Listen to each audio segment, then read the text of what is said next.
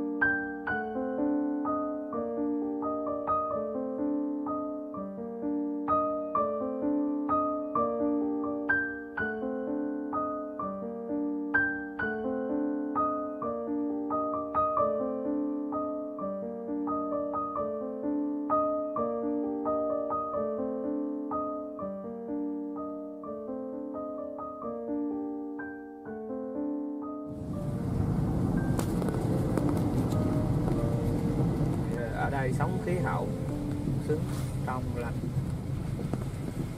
ai cũng làm ai cũng trồng cái hết.